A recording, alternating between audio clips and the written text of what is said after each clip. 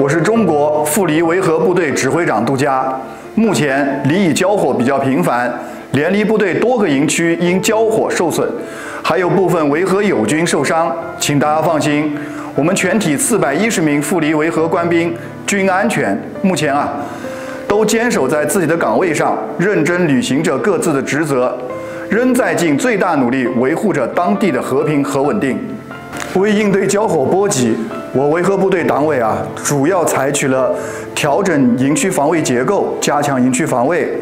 减少室外活动，确保人员安全，全时穿戴防护装备，强化自身防护，常态组织训练，提高自救呼救的能力等措施，用以最大程度地确保我维和人员生命安全。